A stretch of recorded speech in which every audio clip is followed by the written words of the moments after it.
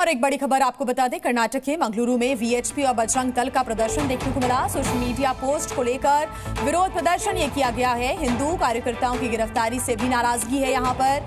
प्रदर्शन रोकने के लिए भारी पुलिस बल की तैनाती की गई है। आपको बता दें कि पुलिस ने स्थानीय नेता मोहम्मद शरीफ के खिलाफ बजरंग दल के नेता शरण पंपवेल को धमकी देने के आरोप में केस दर्ज भी किया है। हालाँकि कितना बवाल यहाँ देखने को मिल रहा है, तस्वीरें देखिए।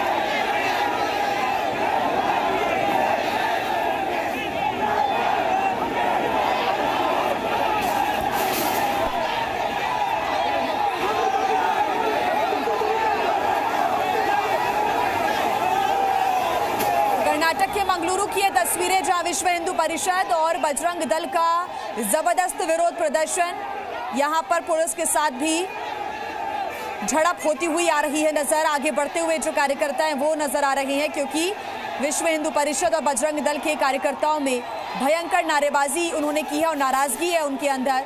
दरअसल सोशल मीडिया पर एक पोस्ट किया गया था और उसको लेकर हिंदू कार्यकर्ताओं में नाराज़गी देखने को मिल रही है।